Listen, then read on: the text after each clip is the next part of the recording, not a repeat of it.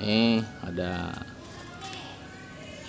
beringin bonsai dahan rantingnya. Nih sancang. Nih sancang. Beringin bonsai. Nah kita coba tancapin satu-satu untuk